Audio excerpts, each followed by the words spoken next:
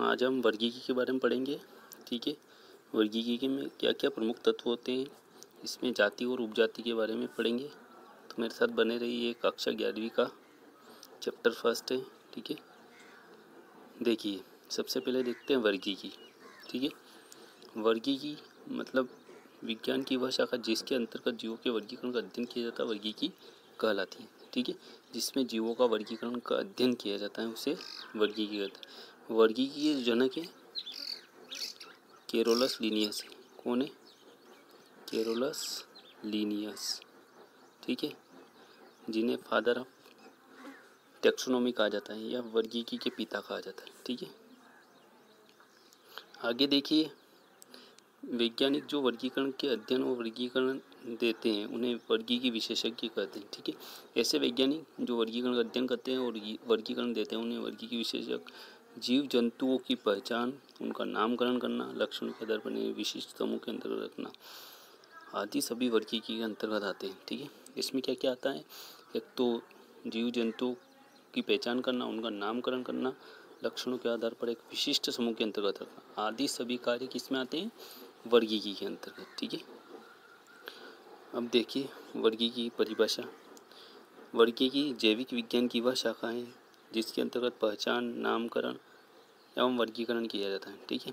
एक शाखा है जैविक विज्ञान की या बायोलॉजी की, जिसमें पहचान की जाती है, पौधों की पहचान की जाती है, नामकरण किया जाता है और वर्गीकरण किया जाता है, ठीक है? आगे देखिए वर्गीकी शब्द का सर्वप्रथम उपयोग फ्रेंच वैज्ञानिक एपी केंडाले ने किया था। किसने किया था?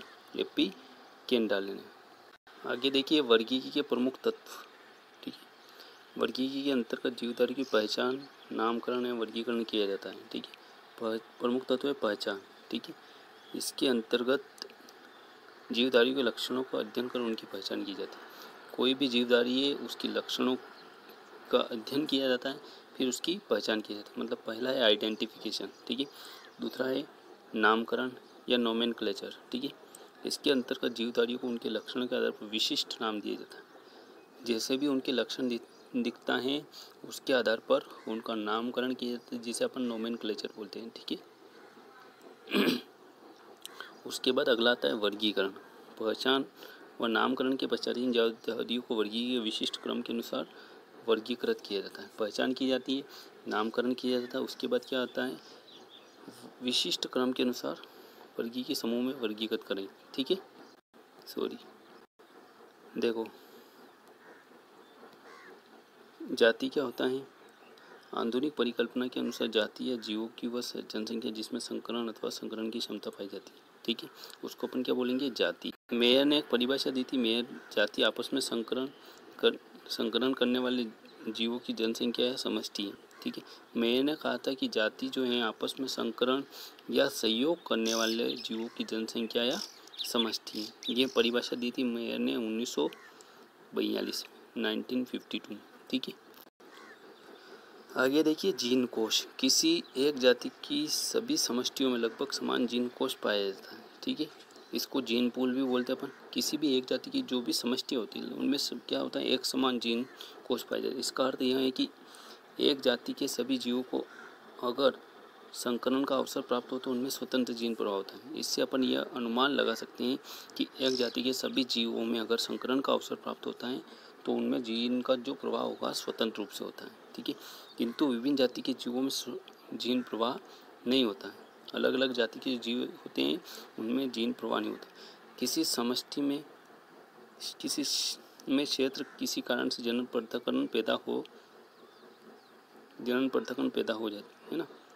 तब क्या होता है कि नई जातियों का विकास होता है। ठीक है इसमें क्या दे रखा है किसी समष्टि में, किसी क्षेत्र में, किसी कारण से जनन पृथकन पैदा हो जाता है, तब नई जातियाँ पैदा हो जाती हैं। जनन पृथकन मतलब अपनी ही जाति के जीवों के साथ वो संकरण या प्रजनन नहीं कर पाते ठीक है, उसको बोलते हैं जनन पृथककरण अब देखिए, उपजाति, सब स्पीसीज। कभी कभी अलग अलग वातावरण में रहने के कारण एक ही जाति के जीवों में कुछ विभिन्नता आ जाती है।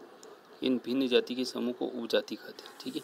कभी कभी क्या होता है, एक ही जाति के जीव जो अलग अलग वातावरण में रहने के कारण कुछ विभिन्नता आ जाती है और ये भिन्न जाति के जो समूह होते हैं उससे उपजाति बनती है। क्या बनती है? उप ठीक है, भारतीय कोए का नाम कार्बस स्पेलेंडस स्पेलेंडस और बर्मी कोए का नाम है कार्बस स्पेलेंडस इंसोलेंस, ठीक है? इसी प्रकार लंगाई कोए का कार्बस स्पेलेंडस प्रोटोगेलस, ठीक है?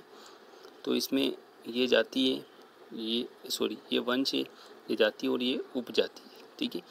उपजाति मतलब उसमें सब स्पीसीज और जुड़ जाती है, ठीक thanks for watching dear friends and please like share and subscribe my channel thank you